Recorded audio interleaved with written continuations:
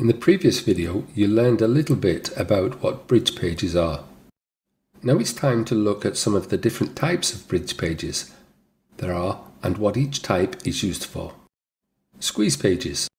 Squeeze pages are probably the most well-known type of bridge page. They are used for collecting leads, usually email addresses, but sometimes phone numbers, mobile phone numbers for SMS, text messages, or even postal addresses that can be marketed to time and time again. Generally, squeeze pages offer a lead magnet, such as a free report or an educational video in exchange for the visitor's contact information. These pages are usually a short sales page with either a video or a list of important points regarding the benefits and all features of the lead magnet, along with a subscription box to collect the leads. Review pages. Review pages are meant to offer additional insight into a product in the form of a review.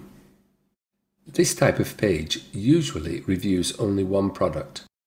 If there are several reviews on a single page for similar products, it's more akin to a comparison page than a review page. Reviews are generally anywhere from one paragraph to a couple of pages in length, depending on the complexity of the product and its more expensive products are likely to need more in-depth information to convince people to part with that much money. They may also feature photos or videos. Comparison pages. Comparison pages are similar to review pages, but they compare multiple products against each other. This may be done through multiple reviews on a single page or through a visual table that shows the benefits or features of each product with check marks or other graphical elements that indicate which features each product has. Pre-sale pages.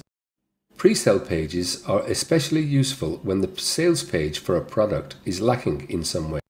Perhaps it doesn't focus enough on a particular feature that your audience is interested in, or it is lacking in detail, such as retail sales pages, or maybe the seller simply has a different angle they'd like to present. Pre-sale pages are especially useful if you find a great product that has a sales page that isn't converting well. Even the best products need a great sales page to close the sale, and pre-sale pages give you the opportunity to turn a less than stellar sales page into a great money-making opportunity. These are the most common types of bridge pages used by affiliates.